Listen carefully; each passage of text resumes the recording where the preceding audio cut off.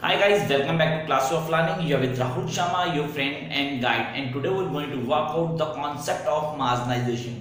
क्या है marginalization कैसे वर्कआउट करते हैं किसके लिए ज़रूरी है और ये कॉन्सेप्ट है क्या एक्चुअली जब हम पेपर की प्रिपरेशन कर रहे हैं तो उस प्रिपरेशन में क्वेश्चन मिलता है that is the marginalization somebody says marginalization education group oh the certain people knows that marginalization है क्या थोड़ा समझ लेते हैं marginalization है क्या किस चीज़ को मार्जिनलाइजेशन कहा गया? किन लोगों को मार्जिनाइज बोला गया।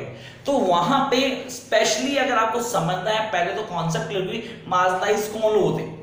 जिन भी लोग को डिप्राइव किया जाता है ऑनेस्ट नोट पे, जिन लोगों को बेसिक एम्यूनिटीज नहीं मिलती, या आप बोलते हो कि इग्नोरेंट फील होता है The people those who feel ignorant in the society are known as to marginalized people. I repeat my word. The people those feel ignorant in a particular society are known as marginalized people. Such as take the examples of black people in Africa before the African Republicness. आपने बोला sir African Republic कब हुआ जब वहाँ apartheid खत्म हुआ रंग भेद खत्म हुआ रंग भेद की नीति खत्म हुई तो ब्लैक्स को कई जगह से डिप्राइव कर दिया उनको ट्रीट नहीं किया जाता था इक्वल ट्रीटमेंट नहीं मिलती थी, कई चीज़ें की जाती थी। तो उसको हम बोलते हैं मार्जिनाइजेशन क्या कहते हैं? Marginalise group these are known as marginalise group अब इसको थोड़ा और तसल्ली से समझते हैं। एंड वाइट अपना आउन कंट्री इंडिया तो यहाँ मार्जनाइज क्या होता है? हमारी कंट्री में कस्टम था अनटचेबिलिटी का।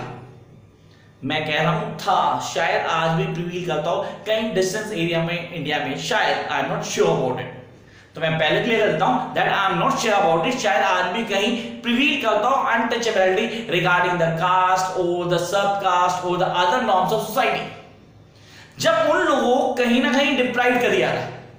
We have seen the certain literature regarding the एससीज and STs that how they were being treated, how they were being treated. Now, अब किए जाते थे, आज तो आई डोंट थिंक दैट कि ऐसा होता होगा? लेकिन वो known as tribal people they are known as tribal people तो आप बोलते हो, सर मार्जलाइज का बेसिक मीनिंग सिर्फ़ एक कास्ट या एक सब सेक्शन ऑफ़ सोसाइटी को अलग से ट्रीट करने को आया था it's all about treating somebody lower than you as compare the generation of woman the generation of woman the girls specially in rural area of India they are not permitted to go for higher studies till today, somehow they are not being having the freedom as the boys have तो उसको मार्जनाइज sector कहते हैं। क्या कहते हैं? मार्जनाइज sector तो इस concept को अच्छे से क्लियर करना, समझना मार्जनाइजेशन क्या है? अगर ये क्वेश्चन आता है तो आप क्या क्या लिखेंगे how you going to work out hope so ये क्वेश्चन शॉर्ट नोट में आना चाहिए लेकिन अगर ये क्वेश्चन 16 मार्क्स में आता है then what we need to work out so it's very important to clear this question that all is very very important so पहले हम कॉन्सेप्ट क्लियरिंग मार्जिनेशन है क्या? कैसे वर्कआउट है? We later on discuss it now, it is a process whereby something or someone is pushed to the edge of a group and accompanied i repeat and awarded lesser importance. किसी आदमी को push करना corner पे corner पे मतलब अगर आप सोच के देखो, हम क्लास में हम सब फ़ोटो खिंचवा रहे हैं, और एक आदमी को कॉर्नर में कर दिया, जब तो वहाँ खड़ा रहा। Don't come here you can not come here you can not sit with us क्या किया आपने? मार्जलाइज कर दिया। क्या कर दिया? मार्जलाइज कर दिया। मतलब किसी को सबसाइड कर देना, इग्नोर कर देना। क्लास में हम लोग भी करते हैं, दोस्तों में आपस में बोलते हैं किसी को इग्नोर करना इसको बात करो यार। आप एक्चुअली इसको मार्जलाइज कर लो। समझो इस कॉन्सेप्ट को। तो ये कहा गया हमारे पास। सेकेंडली एग्ज़ाम्पल लेते हैं मार्जलाइजेशन का। Of the black people in the era of 19th century that's true the era of 19th century आपने कहा सर उस फ़ेज़ में हमारे पास ब्लैक को अलग ट्रीट किया जाता था साथ में बैटिंग दिया जाता था they don't have government jobs they don't have the prestigious issues or the post in a society they are being treated ill by everyone such like the slave trades those part of our society slave trade था तो वहाँ पे उनको slaves की तरह treat किया जाता था तो वो ठीक नहीं था that is marginalization that is marginalization hope आपको समझ में आया कि मार्जिनाइजेशन क्या है jump next one then here we have the marginalization comprise those process by which individuals and groups are ignored or neglected to the sidelines of political debate यहाँ पे उनको neglect किया गया to the sidelines of political debate social negotiation and economic bargaining sir, यहाँ पे अब community की बात आती है हम बात करते हैं, किसी कम्युनिटी किसी माइनॉरिटी को लेते हैं। उस माइनॉरिटी को लेके इशू किया था? Sorry I am not about this for India India minority को ज़्यादा राइट मिलते हैं एज कंपेयर टू मेजोरिटी तो क्योंकि वहाँ पे अलग स्पेशल प्रोविज़न है। लेकिन हम बोलते हैं, सर बुक्स में तो आज भी लिखा जाता है कि हम बैकवर्ड की बात करते हैं, हम एस सी की बात करते हैं, हम उन लोगों की बात करते हैं जो माइनॉरिटीज में आते हैं तो उनके लिए स्पेशल प्रोविज़न कहते हैं सच नवोदया सर्वोदय विद्यालय, ये सब सेटअप किए गए। तो इससे किस लिए अपलिफ्ट किए गए? ये किए गए मार्जनाइज पीपल को अपलिफ्ट करेंगे। To remove marginalization it's a government acts then we come to the educational marginalization अब मेन टर्म आ गई हमारी। What does mean by the educational marginalization हम एजुकेशन मार्जनाइजेशन से क्या समझते हैं? And how can we remove it let's start up EFA that is education for all. याद रखिए EFA education for all cannot be achieved without overcoming marginalization तो हमें भाई marginalization को overcome करना ही पड़ेगा we need to we have to then the education for all global monitoring report 2010 remember this इस पे शॉर्ट नोट आ सकता है education for global monitoring report 2010 focus on the three cases तीन केसेस पहला बॉटम लाइन सबसे पहला point आता हमारा bottom line bottom line to measure the absolute deprivation defines the terms of ES in schools sir हमें देखना है कि कितने साल ये स्कूल में बिताते हैं। वो मेजर वर्कआउट है, सबसे इंपॉर्टेंट बॉटम लाइन को चेक करना कि कितने साल जो मार्जिनाइज पीपल है, वो स्कूल में स्पेंड करते हैं। सेकेंडली द बॉटम 20 परसेंट का लीस्ट ईयर्स ऑफ़ एजुकेशन अब 20 percent seventy two twenty years आ गया। 70 टू 22 ईयर्स आ गया। उसमें कितनी परसेंटेज वर्कआउट की जाती है, हमें चेक करनी है। Third the quality of education accessing learning achievement अब यहाँ पे क्वालिटी ऑफ़ एजुकेशन जो दी जा रही है।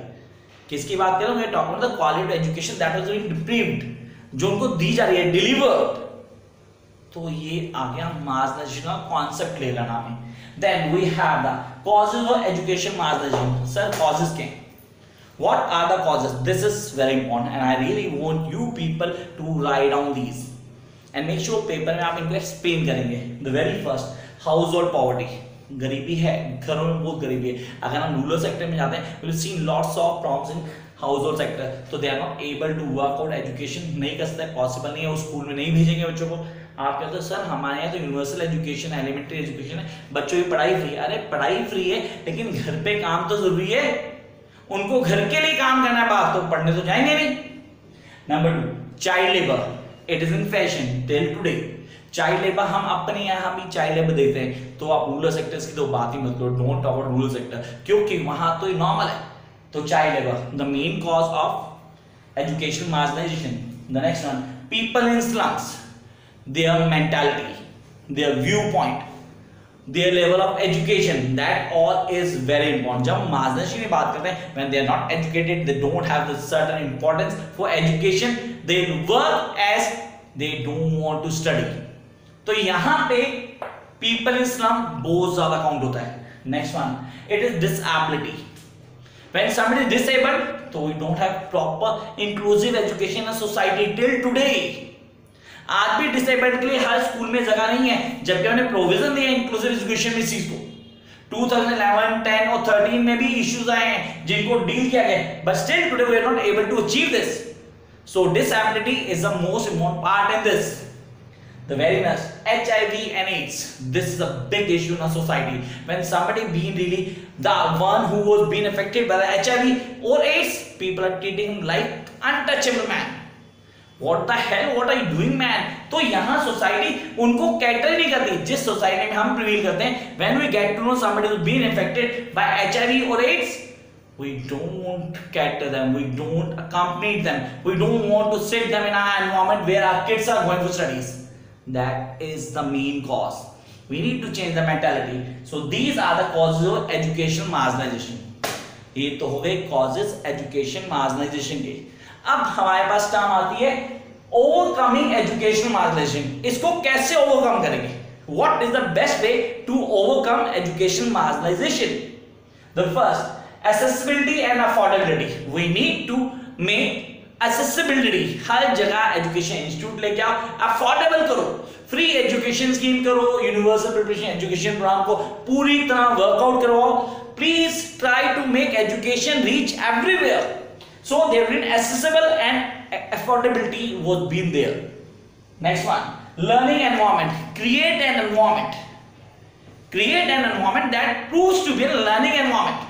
जो काम करता है लर्निंग एनवायरमेंट का जैसे हेल्प करता है टू ग्रो वो जरूरी है that is very important we need to work out that point next one entitlement and opportunity that is the last and the most important it is the entitlement and opportunity entitlement है क्या opportunities create करो तो marginalization को हम remove कर सकते हैं it's an easy topic I must say you need to prepare this those who have not studied till now please watch this video carefully and have a look once or once read the entire answer you be able to learn it वो paper आप easily लिख के आएँगे hope आप लोगों को video अच्छी लगी हो. Don't forget to subscribe and share my video with other people if you think it's worth to watch and share bye guys. Catch you very soon with a new video. Just for you guys. All the very best.